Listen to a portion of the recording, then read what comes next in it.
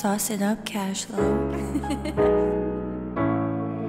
Exclusive to Tyson.